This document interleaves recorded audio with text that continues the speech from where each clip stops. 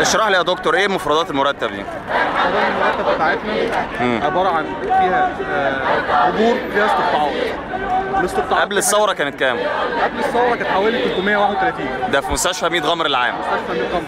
بعد الثورة بقى بعد الثورة زادت بقى ولا إيه؟ نزلت. نزلت؟ 292 نزلت 40 جنيه.